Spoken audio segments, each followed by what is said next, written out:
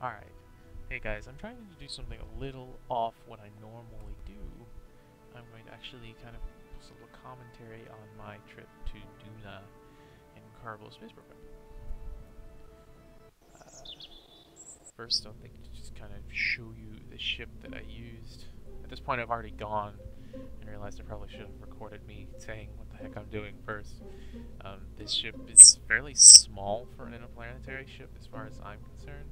Um, I'm taking a few things with me, MechJeb and docking and other, but other, otherwise the ship is pretty small because what I'm going to do is I'm going to get into orbit and refuel. It's just got four rocket boosters, a mainsail, and then there's no engine underneath here, it just separates and then the these engines do the circularization and the orbiting.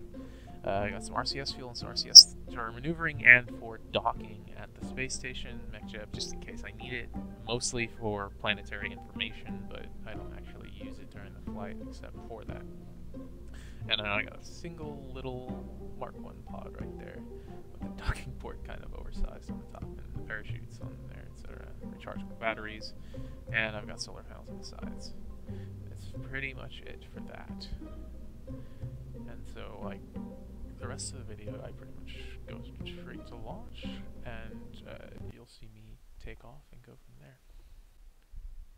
So here we have the launch pad. It's going at about two, two and a half times speed right now.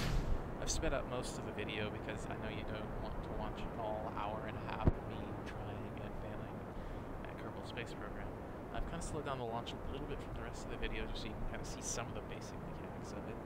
I do encourage you to play this game, it's really fun, but my videos should never probably be used as a tutorial for anything. Um, Scott Manley is probably the best bet for almost anything you could ever want to do in this program. But I kind of slow it down so you can see the basics of some of the launch here. You kind of keep your speed below 150, 200 meters per second before you hit 10,000 feet. Uh, and then you start doing your turn right at about 10,000 and up your throttle. Uh, you stay below 200 meters per second below 10,000 just so you don't waste a lot of fuel fighting the air. Uh, you really don't want to break the speed of sound. That's pretty much what you're really trying to avoid. But uh, like really, just going too fast just wastes a lot of fuel. But once you get past about 10,000, the atmosphere is thin enough so you can do it.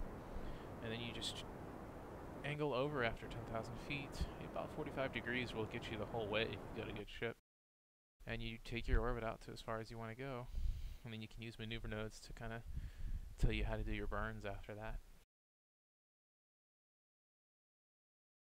So here I just am setting up to go into the turn to do the burn. It's a fairly short burn with four times speed now, I think it says cut loose the bottom station because now at this point it's dead weight, even if I did transfer fuel to it. The atomic engines there are very efficient, and although they have a lower thrust to weight ratio, should be able to get the job done for the rest of the mission. Like I said before, I'm not trying to go to Duna right away. I have nowhere near enough fuel on the ship, as you notice, uh, in the top right on the resource panel. What I'm trying to do is rendezvous with my space station that's in orbit. You can see it's kind of already at a certain orbit there, and I'm trying to use a maneuver node to meet it, but I didn't have any luck on the first one there, and now I'm getting one that's got me a pretty good encounter. So I'm just going to time warp up to the maneuver node burn point. Slow down and then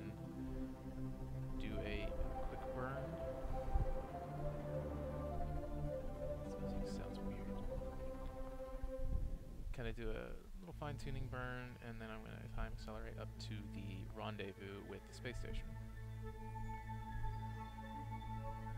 At this point, I'm getting close enough so that the target mode has come up on the bottom, and I can use the maneuvering ball to kind of guide what I'm doing. I'm changing my velocity with respect to the target so that I fly in a line that's more directly towards it.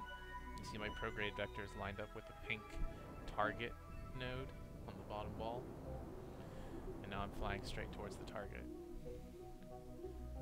Time accelerate. And I'm going to do, I think, one more time acceleration. And I actually go a little bit too fast, so I'm going to fly past it. That's why I turn around very quickly and start burning the other way. And then I pretty much fly past it again, but actually on the right side that time. So I get turned around, getting ready to slow myself down again.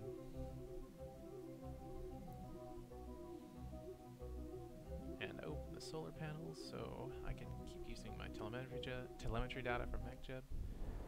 So here I go. I want to dock on the top of the station because the bottom has all the fuel ports in the way. There are docking ports down there that's just kind of crazy to get to them. I have one on the end of the station that's not being used right now, so I'll take advantage of that. I think I switched into docking mode momentarily here. Yep, there it goes. And then I use the RCS thrusters to push me in very slowly. I control the docking nodes, do the control from here, and then select the docking node I want to dock on. And then I just kind of ease myself in.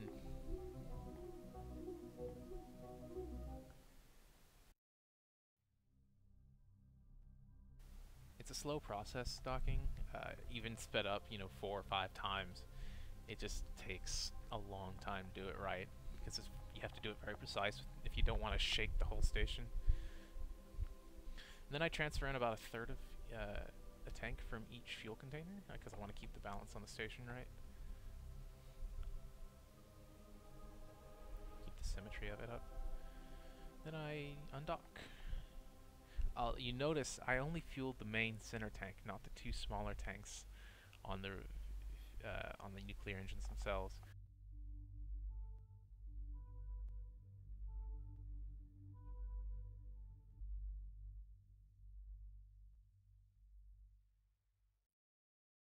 Uh, here I'm, I'm kind of showing the angles, the phase angles that I need to escape Kerbin from. That's the ejection angle on the right and the actual phase angle on the left, where You'll kind of see what this is when you go back to the solar system. But it also, I'm using MechJeb to show me what the phase angles are there, and I'm at 25 degrees and it needs to be at 45, which basically means I need to wait a whole nother year for the planet to come all the way around. So I put a ship on the launch pad so I can simulate really fast and run through lots of time. And I see how slowly it's counting down, so I don't really want to watch this seizure-inducing uh, mode for a while. But you see the planet, the red planet there is Duna that I'm trying to get in the right angle for the fuel-saving burn, the, the transfer pattern. And you just have to wait for it to go all the way around. Basically, Kerbin's going to catch up because its orbit's going a little bit quicker by Kepler's law. And that's pretty much the point of this. At, as soon as I get to the correct angle, which is what, 44 degrees or so, the uh, I'm going to slow down and then try and set my departure point with a maneuver node.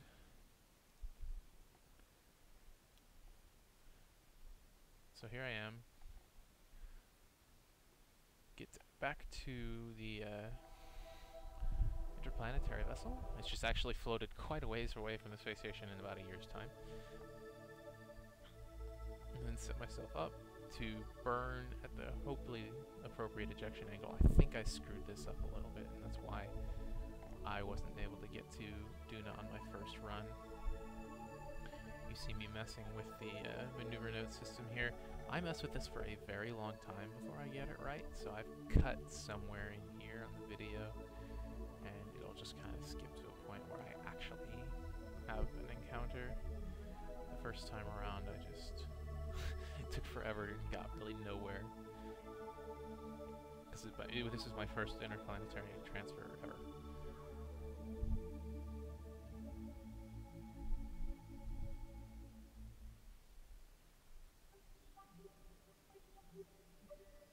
Screwed up the maneuver node, so I have to redo it. At this point I actually select Duna so we can see how close, how far away I am. And so you see my encounter on the left, I'm not actually encountering it. My closest approach is quite far away. So I really just try screwing around with the maneuver node, trying to get anywhere that will get me a successful encounter. But I pretty much realize it's not going to happen, so I should burn anyway, and then do a corrective action maneuver, like a corrective maneuver once I'm already away from the planet Kerbin.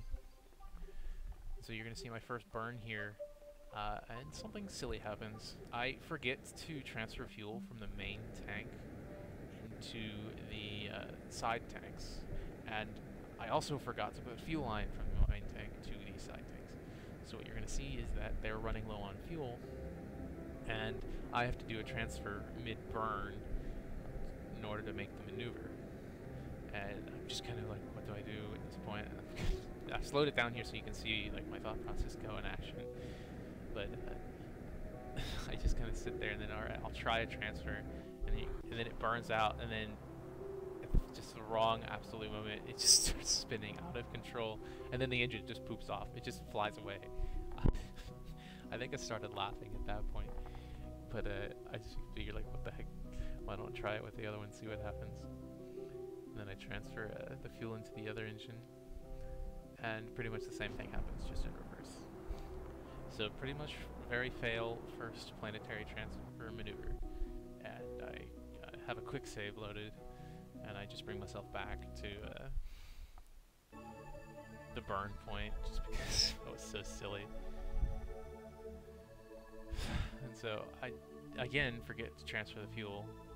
Um, but I remember a little bit earlier this time, so I transferred before they run out.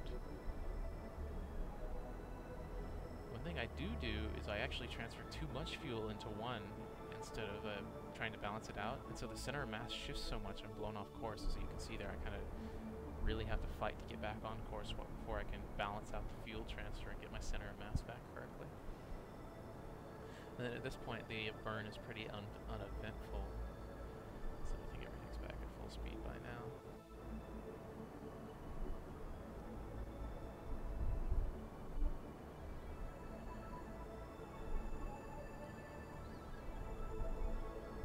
Yep, very slow burn. Remember, this is still four times speed, so...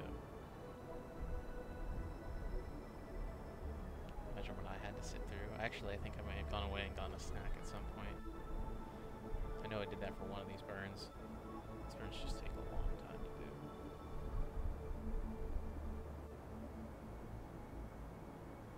And I've edited out some of the later burns, just because all the UR is burning. You don't have to sit here for an hour.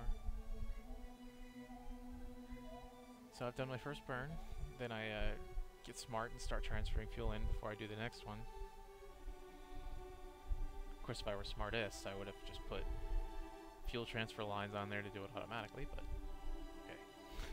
and then I start messing around doing corrective maneuvers, and I realize I do not have enough delta V to get there on this pass.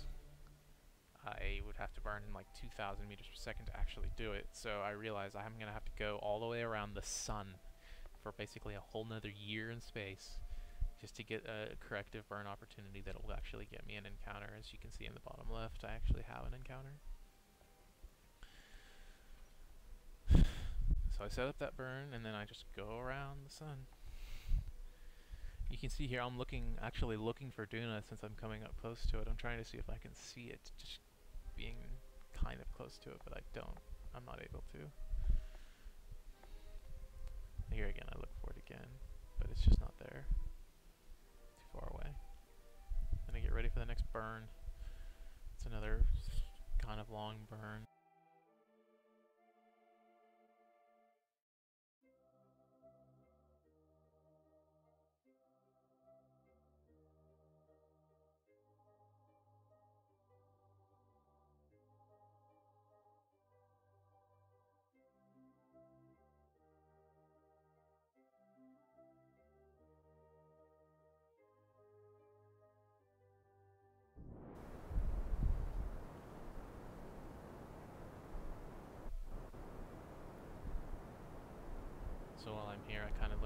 The telemetry data and make some course adjustments along the way, get a nice close-up of everything on the spaceship.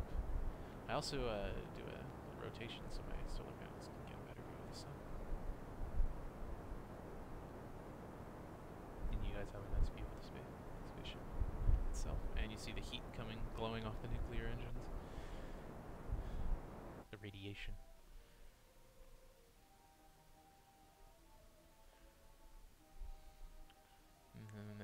one more corrective burn just to see if I can get them a little closer to Duna.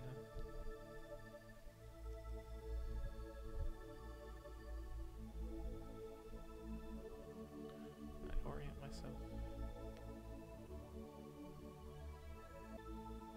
I make the burn and then I go all the way around, so I cut that out because it took a long time to make it. Then I get close to Duna for the first time and I start slowing down just so I can get a view of it as it comes up. I really wanted see it as I was flying up to it. And I get a little over anxious in doing so, so what you're going to see actually is like it's going to come up. Here, come on, come on, come on. Okay, there it is. You can start seeing it. Take a picture, and then I go back, time warp, rip, right past it. I missed it. I missed it completely. I'm like, oh god. And I try seeing what would happen if I tried retrograde burn. I know it would be, take way too much to get captured again. So I'm like, oh, screw that. And I come all the way around again. Wasted all that time. I left some of these fails in here so you can see just the stupid stuff that happens, that actually happens while playing this game all the time. I almost wish they had a million times speed or maybe a 500,000 times because even 100,000 times is kind of slow at these scales when you're taking whole years to get places.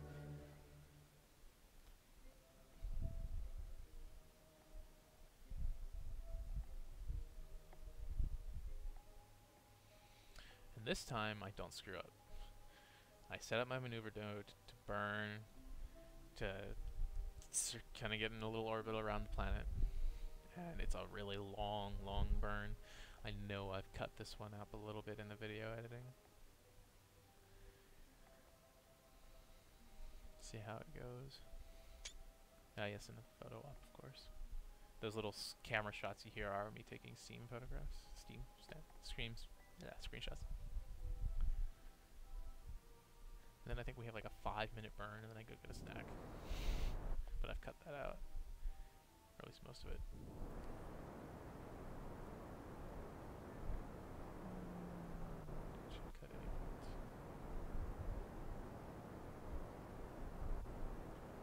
Oh yeah, one thing I was doing is I had for the first minute or so I had to transfer in fuel because it was such a long burn. I would have run out of fuel in the small tanks, but here we are, uh, getting ready to get closer to Duna. So I'm in the first orbit, and I'm going to set up a new maneuver node to get really close to the planet.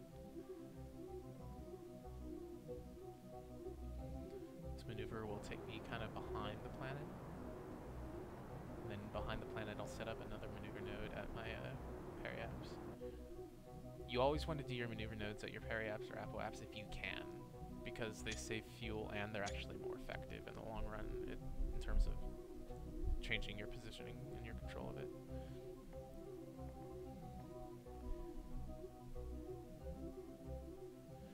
set up one more maneuver node that'll put me down into the atmosphere. One thing I didn't realize uh, when I first started the mission, or even when I got to almost this point, was how big uh, Duna's atmosphere is. Uh, I actually cannot leave Duna because of the atmosphere. Not just because it's big, but because of the atmosphere. I probably could have landed on Ike, Duna's moon there, without really much problem and come home. But Duna's atmosphere is quite foreboding. So here I go. I'm on my first sunrise on Duna, technically. And I start slowing down to do the atmospheric entry. And one thing I do is deploy the parachutes, because when I realized there was an atmosphere, I'm like, oh, the parachutes can help slow me down. I don't need to just do a rocket, you know, landing like you might do on the moon, or on uh, Minmus, or any other little moon. But then I thought, maybe, uh, maybe I shouldn't deploy the parachutes. So what you're going to see is here, after I deploy them, I'm like, uh, maybe that wasn't such a good idea. And what I actually do, I get out of the capsule and try to pack them up again. Because you have to be outside the capsule to actually pack up your parachutes. And then I realize I think you have to either be in orbit or stopped on the ground, but you can't be stuck in atmosphere while trying to deploy parachutes. I mean, or to pack up your parachutes. So I get back in the ship and start trying to slow myself down because I realize, oh god, these parachutes are not going to deploy until I'm below like 10,000 meters. And even if they did, they wouldn't be that effective.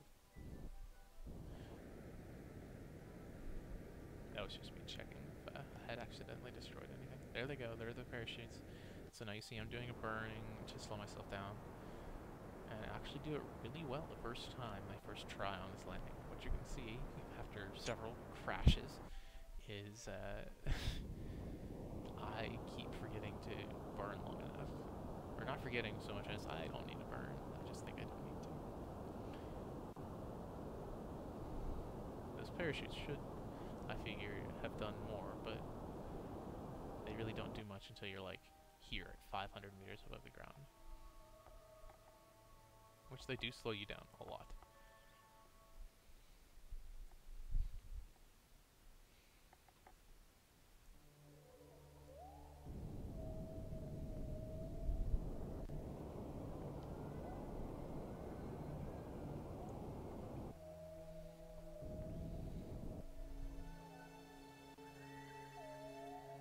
First landing was moderately successful until then, and I just crashed. it just kind of hopped. I slowed it down so you could see the glory of the explosion. So I reset it, go back in the atmosphere. This is already after I've EVA'd trying to fix the parachutes, so the parachutes are coming out no matter what. One thing you'll notice is that I lose the solar panels, they just kind of fly off, but that's not going to stop me. But that might. I was, I didn't start my burn early enough and the parachutes deployed and the force tore my craft in half. So I'm like, alright, I've got to burn a little more than that. So I think, alright, I think I've slowed myself down enough. I don't need to burn anymore. But, you know, lo and behold, I lose, I lose the solar panels again, and I'm like, eh, that's probably not a good idea. I'm gonna need those to power MechJeb.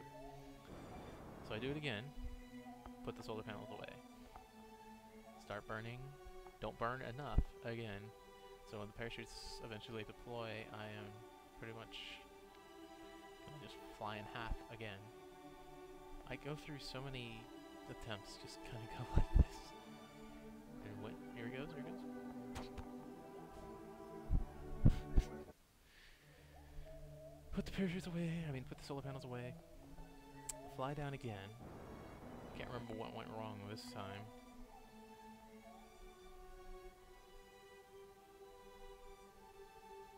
I think I finally figured out that I should be burning a little earlier. Yeah.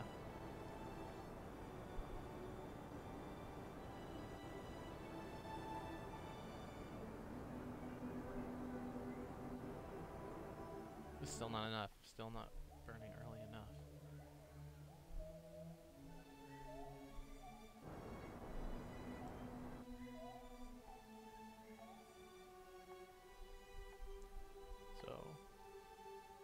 start burning a little earlier this time.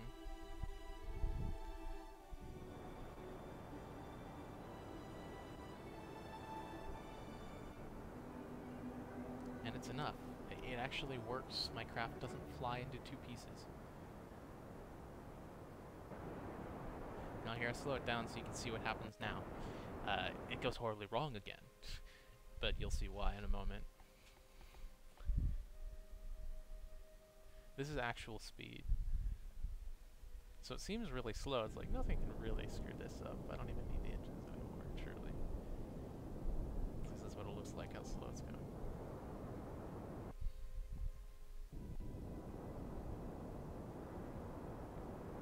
And then I get on the side of the cliff, and I just kind of turn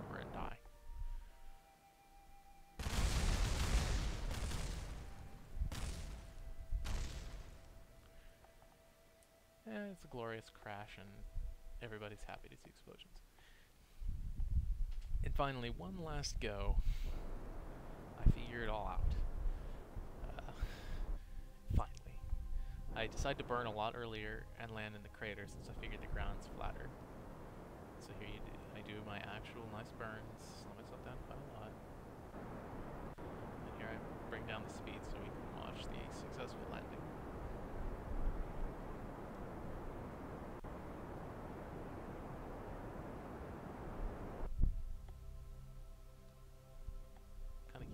Locked in a certain orientation just to keep the burn lateral, to slow my lateral velocity and keep it all vertical velocity. As much as I can at least. So then I start falling down towards the ground realize landing struts are a good idea. Trying to keep myself straight instead of uh, wobbling side to side.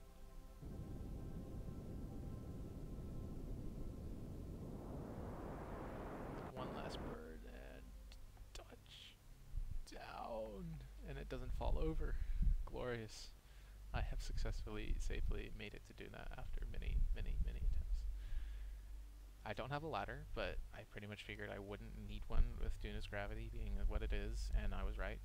It's kind of heavy, but um, I do a quick check and make sure I can fly, and yes I can, even if it's slowly, so I can fly back up to the capsule. So then I kind of pose for a few photo ops uh, after maybe two or three years in space total. Just good to get out of there. And that's it. That's pretty much the video. I get back in the capsule and sign off for now. Thank you for watching, if you did.